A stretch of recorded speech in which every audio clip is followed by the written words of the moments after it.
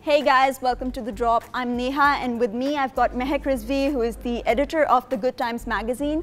Thank you for joining us, Mehek. Thank you for having me. Uh, so you started writing for Good Times at a pretty early age, didn't you? Yeah. Um, I have to ask, why journalism?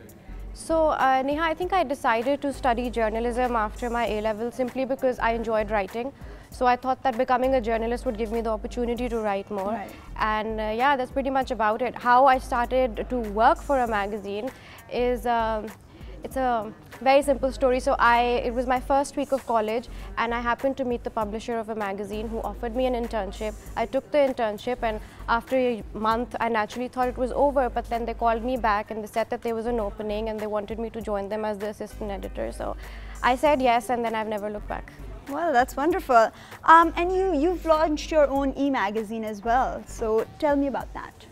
Okay, so I wouldn't say that uh, technically mode is mine. Yes, it was my brainchild and it was my idea, but I actually went to uh, an e-store with the idea and I launched it for them. Right. Uh, we've uh, gotten a lot of support from the fashion fraternity and I'm very grateful for that.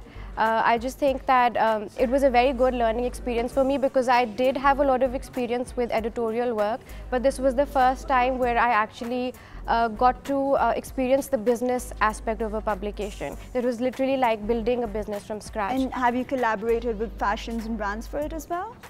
For that and like for everything that I do, obviously you have to close uh, work really closely with everyone that works in fashion, and that includes different brands. So yes, there have been quite a bunch. And uh, the Is there is, any favorite fashion brand that you loved collaborating with? see, the thing is that I've uh, worked for two monthlies, and I've been associated with a fortnightly twice now.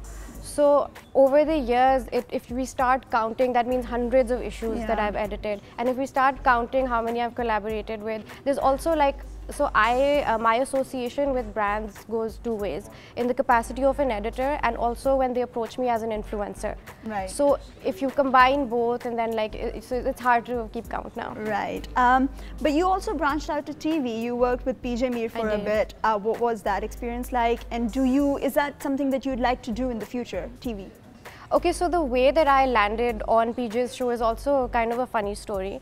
Uh, basically, I was still in college, and um, this was also when I had a full time job with a magazine. Uh, as I mentioned, I was studying journalism, and one of the courses was production.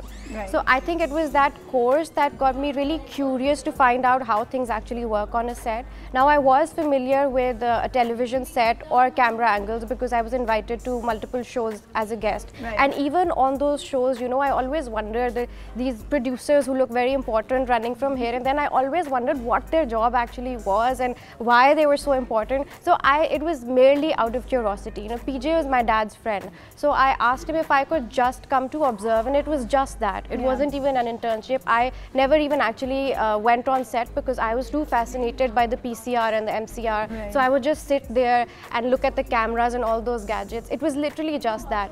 But one day while leaving work, um, PJ just got up and he said that uh, I'm going to see you tomorrow at 9 a.m. You're going live. You're doing the segment in English. And obviously, my first my, my first reaction was no, I, I can't do this. But um, you you can't really argue much with PJ Mir. So yeah, the next morning I was live. And what was that like? Because it's very, uh, being on TV is very different than, you know, print journalism and is, writing it and stuff. is. So, So, um, I'll tell you what, it was challenging. Perhaps the most challenging aspect though was the fact that I had to be live at 9 a.m. and I'm not a morning person. and being live at 9 a.m. means that you need to be at work by 8 because there's hair and makeup Yeah. and then there's some sort of preparation also. So that was a challenge. And then another challenge was like, as I mentioned, this segment was in English. So I would come every morning, say a few things in English and then I was gone. But one day, since this was a live show, we had a live call, and someone, uh, I can speak a bit of Urdu on the show, right? Someone just called and said, uh, okay, so someone just called and said that we don't really get what she said. Can she spe- please speak in Urdu? And then PJ said, You're absolutely right. Kids these days, they don't know their own language. And I pride myself on my Urdu skills. But you know, it's sometimes it's just a little hard to say certain things in Urdu. Yeah. So, yeah, it was that one man who decided to make life really hard for me. So, that was hard, but I guess uh, I. But it was an somehow. experience. It was, it was. Right. Um, actually, speaking of experiences, you've you've been mostly in the fashion um, and lifestyle Yeah. side of the journalism. But do you think, like, with this sort of uh, line that our media takes these days, are we like take depending too much on sensationalism and going away from the integrity of what journalism absolutely is supposed to be? absolutely. I, I do agree with that. And that's something that i try to stay away from or whatever publication i'm associated with or whatever uh, content i'm creating i try to stay away from it. Uh, but yeah i do agree that uh, even in like you know this I, I feel like earlier this was just restricted to politics but now it has seeped into uh, entertainment fashion and lifestyle also lastly, what advice would you give to any aspiring journalists out there? I would just give one advice, and obviously, I'm uh, speaking as a lifestyle journalist, and that would be that uh, do not get into this if you're not ready to pay your dues because it does take a while. I started working in 2010, we're in the later half of 2019 now, and I still don't think that I'm there.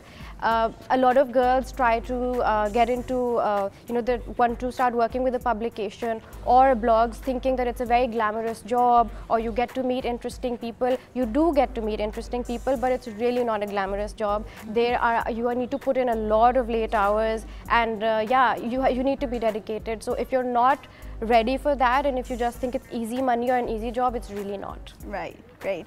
Thank you so much for joining Thank us. you Uh, that's all for today. We'll be back with a new episode. You were watching The Drop.